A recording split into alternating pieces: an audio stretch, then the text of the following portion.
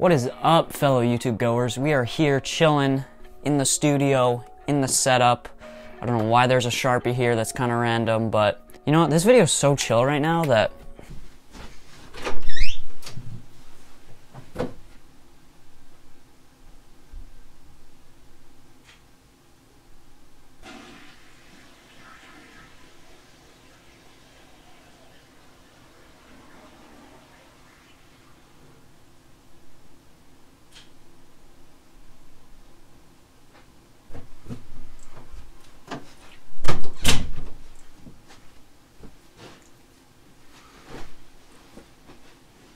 Alright, in today's super chill video, as you can see, there's just so many vibes going on right now. So just insanely chill. Um, today, I'm to be doing a kind of kendama comparison, I would say. Um, let me find them actually here. So I'm to be comparing two kendamas, one from 2016, I believe, one from 2019. Let's do it. Let's just look at the differences. Where is this? There's one, and there's two. Alright, so as you can see in this video, we're going to be comparing a Kendama, both from Analog. We're going to be comparing the evolution of Analog pretty much from 2016. And then we got, of course, the Dave Cher pre-mod, or not pre-mod, bro, I'm actually stupid.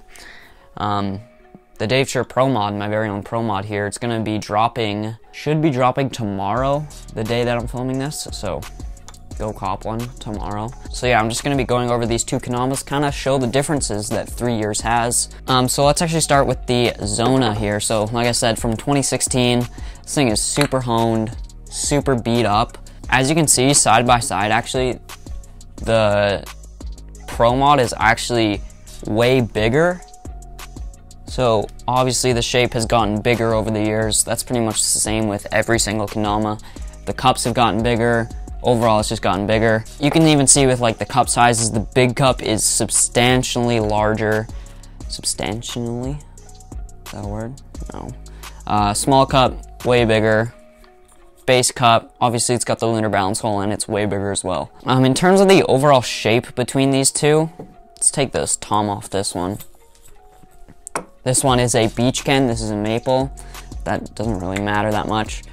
But the spike length on this one, is the cups are really pushed down on this one, so you can kind of notice that. Obviously, the, the spike's flat with this one, that just comes over playing it over time. Having the cups actually being bigger makes them much more defined and much easier for gunslingers as well.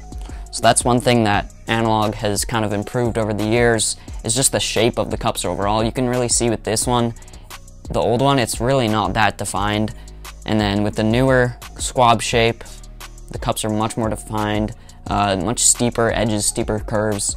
That's kind of the theme with kendamas these days. In terms of the handle stall, ring stall, the handle stall obviously is bigger, the ring stall is more defined, it's bigger, so it's gonna be easier for those ring stall and handle stall tricks. And the shape is just really different, like seeing the transformation of these two, this is so much bigger, the cups are so big compared to the to the 2016 OG Zona, it's actually insane how far the shape has come. And this kind of goes with all kendamas as well. Um, pretty much every kendama over the year has developed like like an insane amount. I don't know why it took me forever to think of that, but like even with Sweets kendamas, pretty much every kendama company, you can see the development over the years and the change in the shape. Um, in terms of the Tama, I don't really see that much of a difference. It should be the same size, yeah. Bevel is pretty much the same. The bevel on these old ones, turn off my ringer there, but the bevel actually on the old one is was pretty big back in the day in 2016, so they're pretty much the same. Um, both satin paint, super sick, but obviously you guys can see the biggest difference is these cups. Yeah, that's pretty much a comparison from 2016. Shout out OG analogs, they're still super sick. Like you can still do tricks on these and stuff, obviously, but the cups are way smaller. Um, it's just gonna be a lot harder. I'm not, I don't know why I'm talking about this, like you guys can buy this. I'm just doing a little comparison.